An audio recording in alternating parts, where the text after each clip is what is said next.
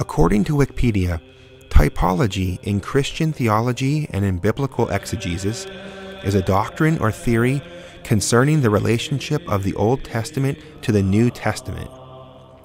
Typology is very useful for grasping truths about the Catholic faith because it is both at the same time simple and profound.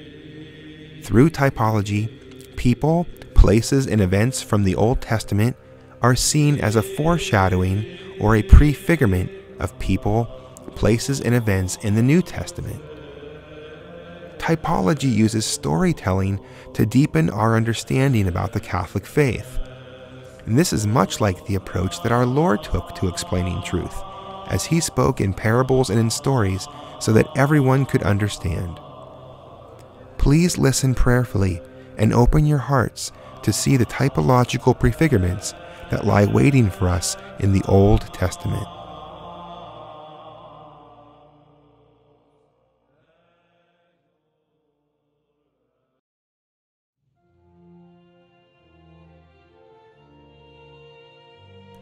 Before we examine how the Battle of the Horns of Hattin was prefigured in the Old Testament by the Battle of Aphek, I would like to offer an idea. The Old Testament contains the entire history of the Israelites. The Israelites were the Old Testament people of God. Their entire history, from their inception until their ending, is completely contained in the books of the Old Testament. Similarly, the New Testament is the entire history of the new people of God, the Catholic Church. The New Testament really contains our entire history from start to finish. However, the difference is that for the Israelites, their history is entirely recorded in the Bible. Our history is still being lived out. We are still in the New Testament, even though our history is not recorded entirely in the Bible. With that concept in mind, it becomes clear why the battles from the Crusades would be prefigured in the pages of the Old Testament. If the Old prefigures the New, then events in the history of the church would be prefigured by the Old Testament.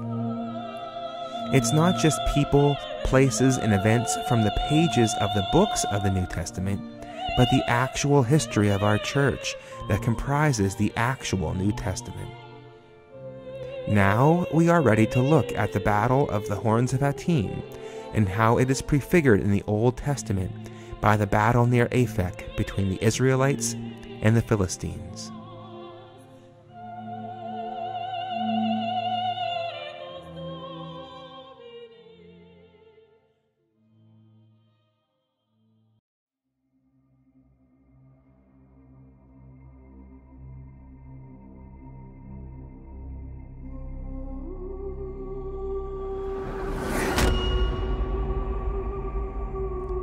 Story in the Old Testament starts out with the Philistines, encamped near the Israelites and ready for battle.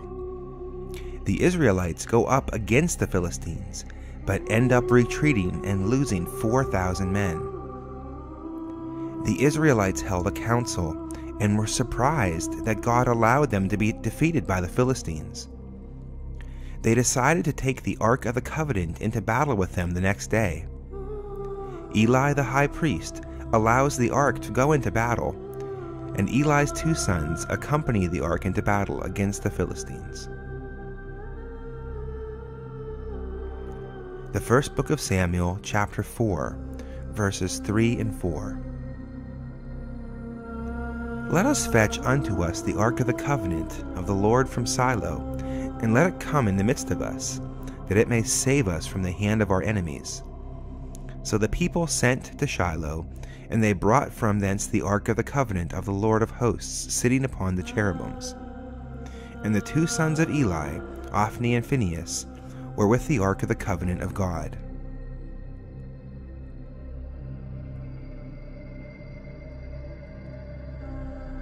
And also from the first book of Samuel, chapter 4, verses 10 to 11. So the Philistines fought, and Israel was overthrown, and every man fled to his own dwelling. And there was an exceeding great slaughter, for there fell of Israel thirty thousand footmen. And the ark of God was taken, and the two sons of Eli, Ophni and Phinehas, were slain. After the battle was over, word went back to Shiloh, where Eli the high priest was waiting for news about the battle and the condition of the Ark of the Covenant. From the first book of Samuel, chapter 4, verses 16 through 18. And he said to Eli, I am he that came from the battle, and have fled out of the field this day. And he said to him, What is there done, my son? And he that brought the news answered and said, Israel has fled before the Philistines, and there has been a great slaughter of the people. Moreover, thy two sons, Ophni and Phinehas, are dead, and the ark of the God is taken. And when he had named the ark of God, he fell from his stool backwards by the door and broke his neck and died.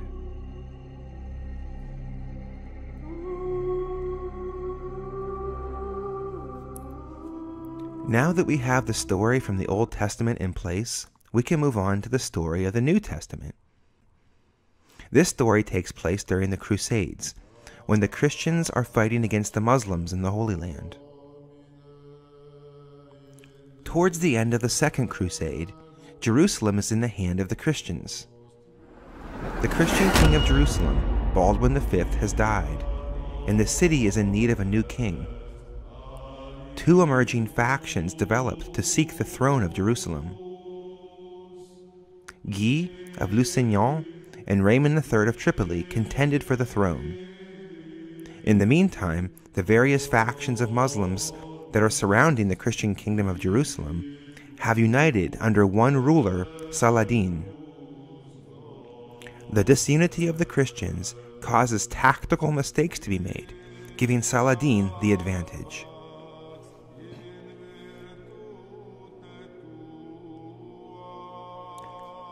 The Christian forces go up against Saladin in the plains of Hattin, near the Lake of Galilee.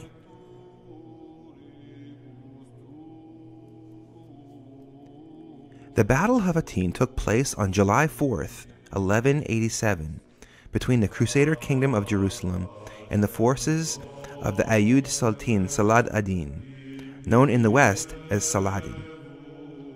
It is also known as the Battle of the Horns of Hattin, from the nearby extinct volcano. The Muslim armies under Saladin captured or killed the vast majority of the Crusader forces, removing their capability to wage war.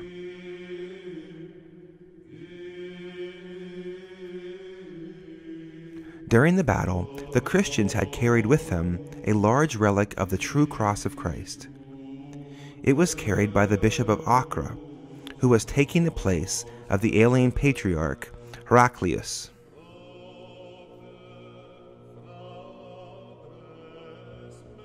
Also, the army's standard was the relic of the true cross, carried by the Bishop of Acre, who was there in place of the alien patriarch Heraclius.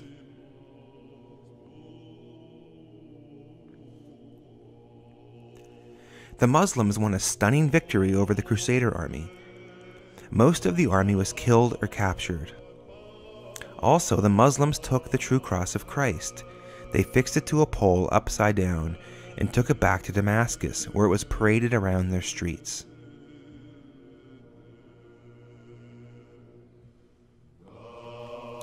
The Muslim forces had captured the royal tent of King Guy and the true cross after the bishop of Acre was killed in the fighting. The true cross was fixed upside down on a lance and sent to Damascus.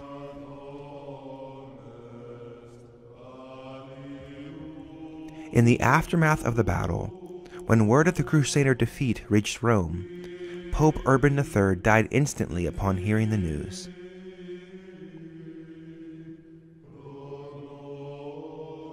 According to the chronicler, chronicler Ernoul, News of the defeat caused Pope Urban III to die of shock.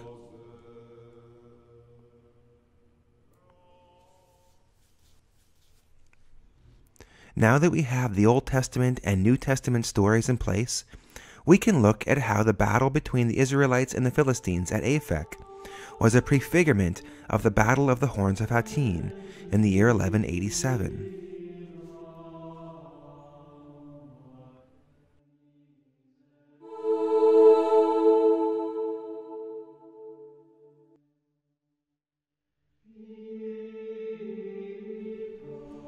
The Israelites set out to battle with the Philistines, who were pressing further and further into the Israeli territory.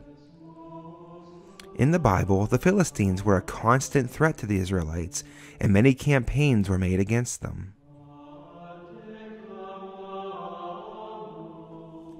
The Crusaders set out to battle with the Muslims, who are strengthening their position against the Christian kingdom of Jerusalem. The Muslims were a constant threat to Christian medieval Europe, and many crusades were made against them.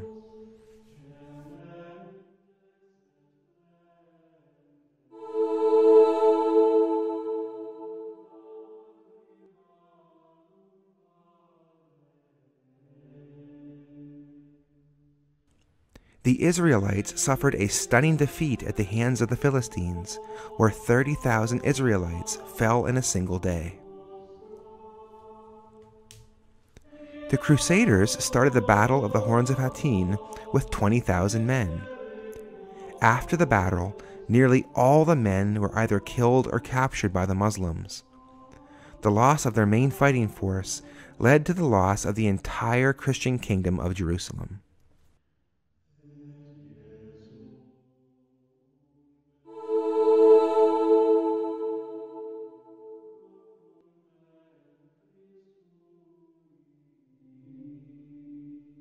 Eli the high priest was the rightful caretaker of the Ark of the Covenant.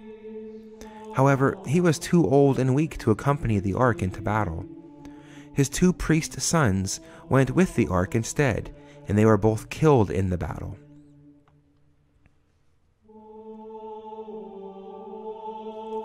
The patriarch Heraclius was the rightful caretaker of the relic of the true cross. However, he was ailing and weak and couldn't accompany the relic into battle. The bishop of Acre went with the relic instead, and he was killed in the battle.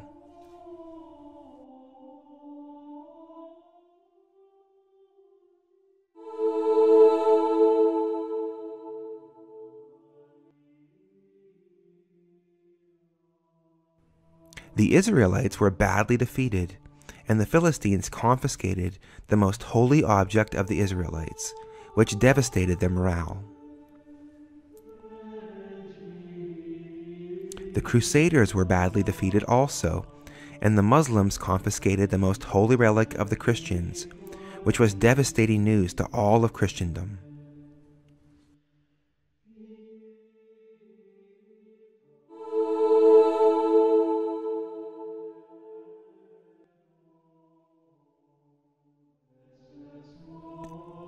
Upon hearing the news of the stunning defeat of the Israelites and of the confiscation of the Ark of the Covenant, the high priest Eli died suddenly and on the spot.